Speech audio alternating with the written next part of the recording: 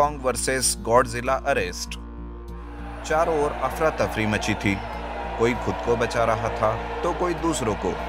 तो कोई सब कुछ भूल के, बस पागलों की तरह वो नज़ारा अपनी आँखों में कैद कर रहा था। कि तभी एक मिसाइल चली और एक बड़े से मॉन्स्टर गॉडजिला पे जा गिरी। समुंदर के लहरों के साथ वो गॉडजिला धम्म से पानी में जा गिरा और एकदम से सन्नाटा छा गया। सब लोगों ने कुछ देर उस मॉन्स्टर के उठने का इंतज़ार किया। पर काफ़ी देर इंतज़ार करके भी जब वो जानवर पानी से बाहर नहीं आया तब लोगों ने खुशी के मारे चिल्लाना शुरू कर दिया। फिर से भगदड़ मच गई और उस गॉडजिला को ढूंढ के पानी से बाहर निकाला गया। बड़ा मुश्किल काम था वो पर जैसे तैसे लोगों ने उसे बाहर निकालकर जंजीरों से कस कर बाँध दिया। हे ये पक्का मर गया ना? जाकर कोई चेक करो जल्दी। मैं अभी चेक करता हूँ। हैं? ये तो अभी ज़िंदा है। ओ माय गॉड एक शक्तिशाली मिसाइल भी इसे नहीं मार पाया। इट्स ओके okay, अब हम इस पर एक्सपेरिमेंट करेंगे। अरे आप पागल तो नहीं हो गए? इसे ज़िंदा रखा तो ये फिर से सबके लिए मुसीबत बन जाएगा। अभी हमने इसे बड़ी मुश्किल से पकड़ा है। अगर ये जाग गया तो और खूंखार बन जाएगा। हम ये रिस्क नहीं उठा सकते। राज उस साइंटिस्ट को मनाने की कोशिश करने लगा। पर उस गॉडजिला पर एक्सपेरिमेंट करने का ऐसा जुनून सवार था उस पर कि उसने राज की एक बात नहीं सुनी और वो सबको इंस्ट्रक्शन देता रहा। लोग भी उसकी बातें मानने लगे। अब इतने बड़े गॉडजिला को किसी लैब में रखना मुमकिन नहीं था। इसलिए उसे उसी समुंदर से थोड़ा दूर एक बड़े से मैदान में रखा गया और उसके इर्द गिर्द सुरक्षा के कड़े इंतज़ाम किए गए। सर, आप फिर से एक बार मेरी बात मान लीजिए। वरना ये एक्सपेरिमेंट आपको और हम सबको बहुत महँगा पड़ेगा। प्लीज़ सर आई थिंक तुम इस मैटर से दूरी रहो। डरपोक लोगों का यहाँ कोई काम नहीं। पता नहीं तुम नेवी में भर्ती कैसे हो गए। नाउ गेट आउट साइंटिस्ट ने राज को जलील करके वहाँ से निकाल दिया और खुद अपनी टीम के साथ उस गॉडजिला के पास रुककर एक्सपेरिमेंट करता रहा। लगातार दो तीन रात तो सिर्फ़ उसकी मोटी चमड़ी हटाने में लग गई। पर इस वजह से वो बेहोश दानव होश में आने लगा। सारे लोग फिर से डर गए। साइंटिस्ट का असिस्टेंट तुरंत एक केमिकल उस गॉडजिला को पिलाने लेकर आया ताकि वो बेहोश हो जाए, पर साइंटिस्ट ने उसे रोक लिया। रुक जाओ, ये मत करो। हमें पता नहीं इस केमिकल का उस पर क्या रिएक्शन होगा। वो मर भी सकता है, और मुझे वो ज़िंदा चाहिए किसी भी हालत में। इसलिए ऐसी कुछ करने की सोचना भी मत। पर सर, अगर ये पूरी तरह से होश में आ गया तो हम ये एक्सपेरिमेंट पूरा करने के लिए ज़िंदा ही नहीं बचेंगे। आप समझ क्यों नहीं रहे सर? बस मेरा काम पूरा हो ही रहा है। तब तक ये शायद होश में ना आए। थोड़ा वेट कर लेते हैं। साइंटिस्ट ने इस बार भी अपने मन की की और अपना काम खत्म करता रहा, पर उसकी ये भूल बहुत महँगी साबित होने वाली थी।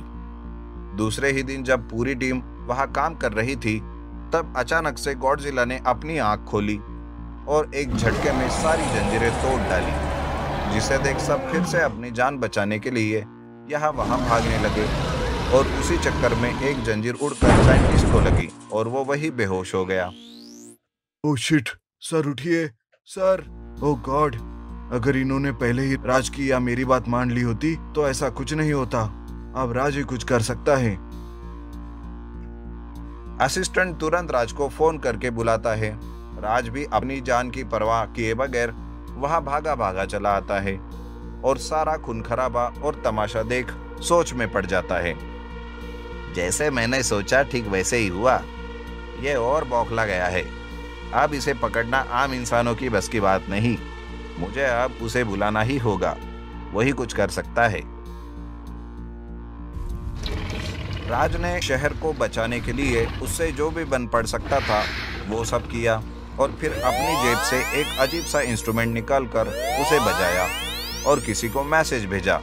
राज संभल पाता कि अचानक एक बड़ा सा पोल उसके पास आकर गिरा। उसने बड़ी मुश्किल से खुद को बचाया, पर गॉडजिला की नज़र उस पर पड़ गई। राज उस जगह स्टैचू बनकर खड़ा रहा, पर शायद गॉडजिला का दिल आ गया था उस पर। उसने तुरंत राज को अपने पंजे में जकड़कर उठा लिया और मुँह में डालने लगा। राज को लगा, अब तो वो गया, पर अचानक कोई बड़ा सा पंजा वहाँ आया और उसने गॉडजिला के हाथ से उसे छीन लिया। गॉडजिला गुस्से से यहाँ वहाँ देखने लगा और उसकी नज़र एक बड़े से किंग कॉन्ग पर पड़ी, जो अपने हाथ में राज को पकड़े खड़ा था। ओह, यस, मैं ज़िंदा हूँ, मैं बच गया। थैंक्स मेरे भाई, मेरे दोस्त मेरे एक बुलावे पर तुम इतनी जल्दी यहाँ आ गया। जवाब में किंग कॉन्ग ने राज को एक हल्की सी स्माइल दी। उसे अपनी उंगली से हल्का सा थपथपाया और आराम से नीचे उतार दिया। अपने हीरो ने आकर सही वक्त पर राज को बचा लिया था और राज खुद को संभल कर नीचे लोगों को बचाने चला गया। किंग कॉन्ग ने गॉडजिला की तरफ़ देखा, अपना सीना पीटा और ज़ोर ज़ोर से दहाड़ लगाई।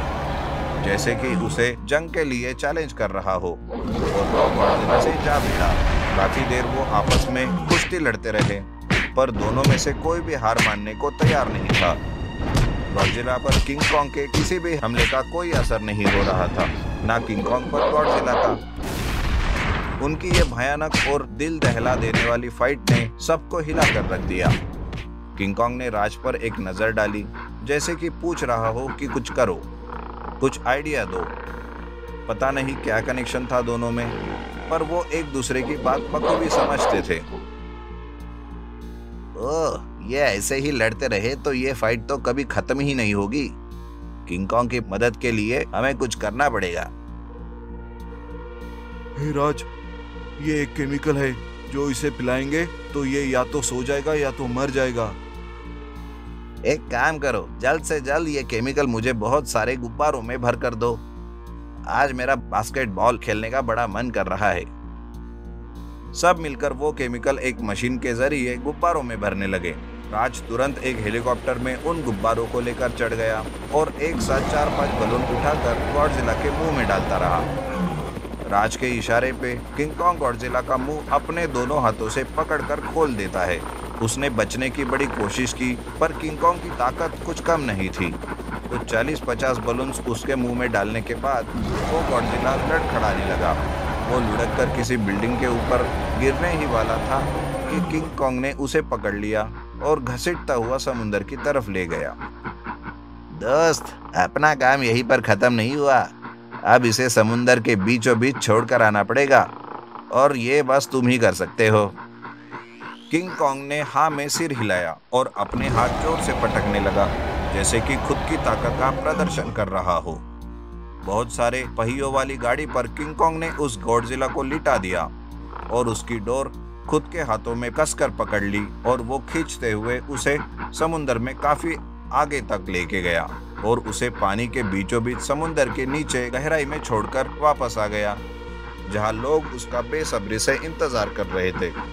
सबने उसे देखकर उसे थैंक यू कहने के लिए अपना अपना सिर झुका लिया और तालियाँ बजाने लगे। ये सब देख किंग कॉन्ग भी बहुत खुश हो गया और चिल्लाते हुए अपना सीना पीटने लगा।